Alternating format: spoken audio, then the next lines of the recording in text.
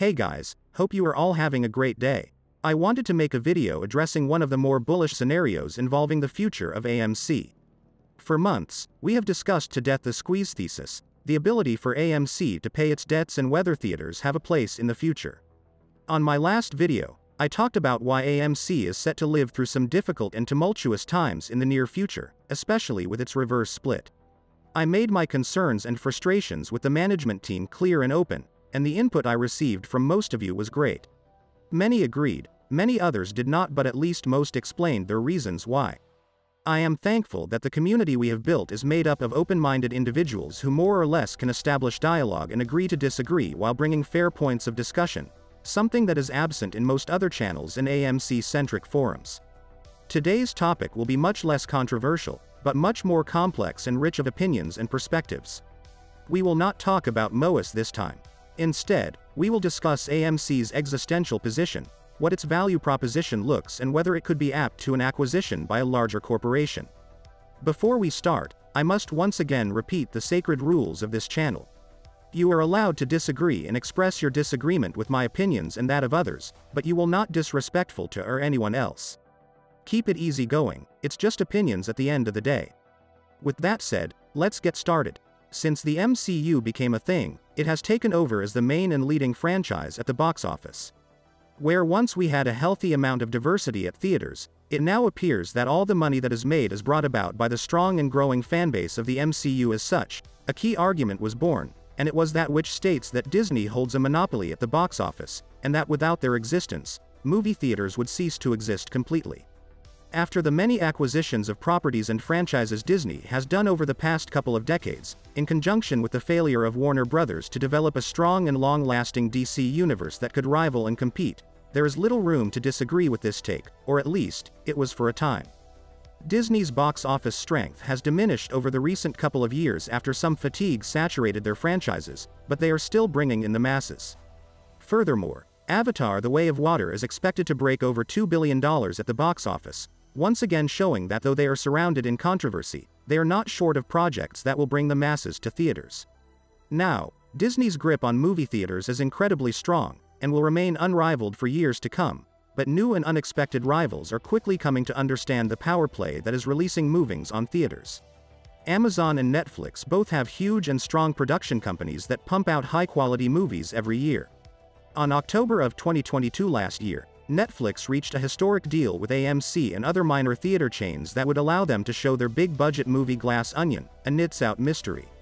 This is an unprecedented move, and one that I strongly believe will not be the last to happen either. Making movies has become very expensive, and though streaming service giants reap billions of dollars in revenue, there is much opportunity to make more money for their bang by showcasing their biggest projects on the big screens. This fact, which for some odd reason became so oblivious for so long in due part thanks to the relentless attempts by the corporate media to bankrupt AMC, is now gaining momentum. Amazon was reported last November in 2022 to be planning on spending $1 billion per year on theatrical film releases. This is a huge change that could have unpredictable ramifications for the reasons I will now describe. First and foremost, as I said earlier, Disney has enjoyed being the undisputed king at the box office, and it will maintain itself as king for the short term, but now other movie giants will too be competing against them at the box office. Because there is competition, this could mean AMC would have the means to demand a higher cut per movie ticket, which will affect the bottom line of Disney. But even more so, these new developments make the existential premise of theaters become center front for all, theaters are here to stay. Maybe they will be a little different from how we have always experienced them to be, but both the need for movie studios to make money at the box office is apparent across more industries than we thought and the demand by customers to see movies at the big screen is still incredibly strong. This brings into question, if theaters are here to stay, where does AMC stand in this? Well, AMC is buried in nasty debt, it could most certainly use a more refined management team, though I will admit that is my opinion than a fact. It needs serious restructuring and more important than ever, it would do well to add value proposition to its customers by bolstering a stronger streaming service. I have argued time and again that them acquiring or making a movie production company that makes cheap but fun movies would allow it to not only make money from the box office, but also bolster their streaming service and most certainly, grow it over time. Just recently, the movie called Megan came out. It had a budget of just $12 million and in just two weeks' time, it earned five times its budget. Imagine if it was AMC raking in this money. Don't tell me that it doesn't make sense to develop a small production company to develop low budget but high quality films that can bring in consistent cash. But I am getting carried away, let's bring things back to the main topic. As I was saying, AMC is buried in debt but its potential to yield higher revenue and pay off its debt is still there, should circumstances ever align. With a market capitalization that has punished them for years and in my opinion, is due to continue affecting AMC negatively for the foreseeable future unless the company management does something about that, it actually could make them more desirable. Think about it, if you were Disney or Amazon, an acquisition to a company that would cost less than $10 billion but give them access to essentially a monopoly to theaters in the United States. If I were one of these big corporations, I would be waiting for a chance at a better price, but given that everyone is noticing that theaters are becoming an essential piece, it might put some pressure on the board members of Disney and Amazon to think about making an acquisition. Now, like I said, AMC is surrounded by financial issues that nobody yet has an answer to, and I also believe that movie-going will not return to pre-pandemic levels, at least for the short foreseeable future. This is actually the biggest hindrance to an acquisition, and it makes the most sense. However, I think the answer to this actually comes from the fact that theaters could be so much more than what they already are. When we think of theaters, we think about big billboards on the front, we think about popcorn and red seats, a hot date and a great movie.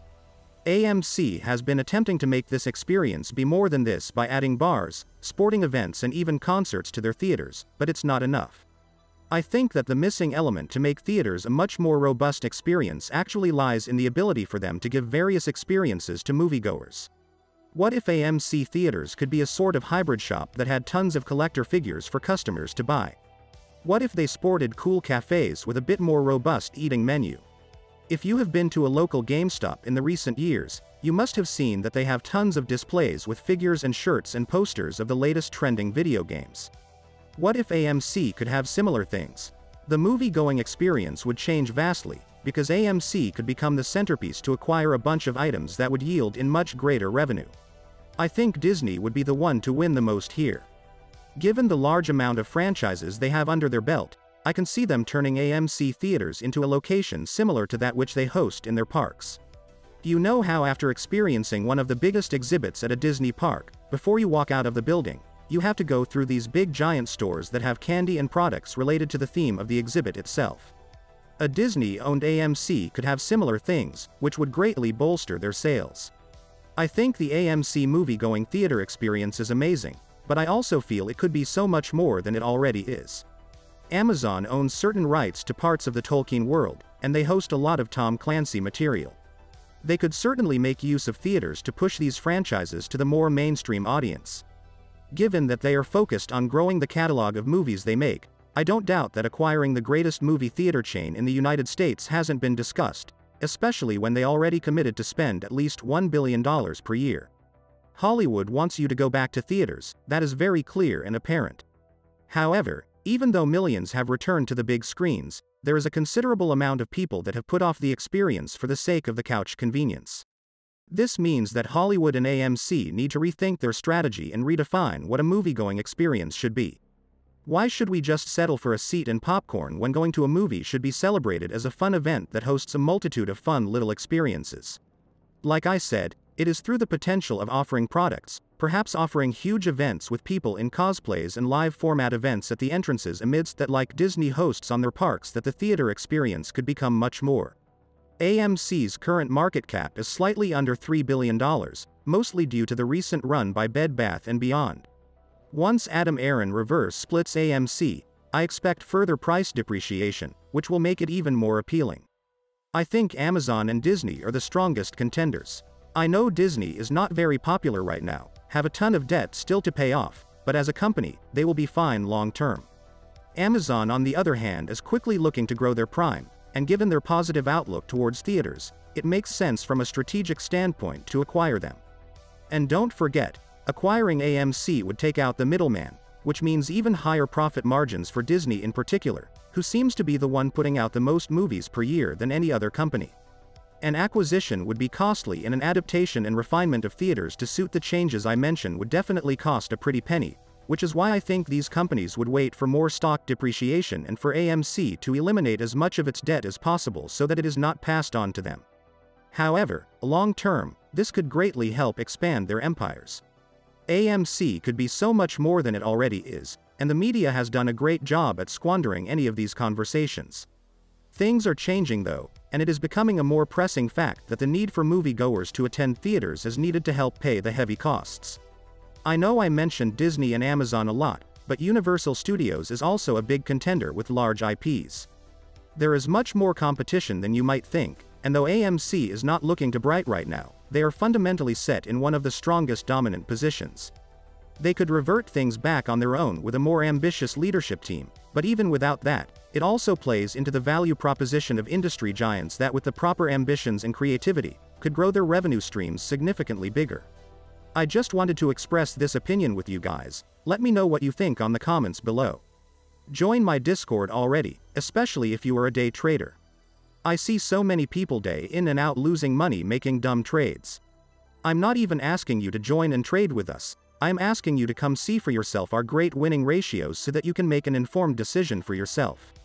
Tag me in a message on Discord to speak to me and I will be more than happy to talk in private with you on a private channel and help you out. That aside, I will see you later in the week for another market video. Until then, I wish you a great rest of your day and to the moon.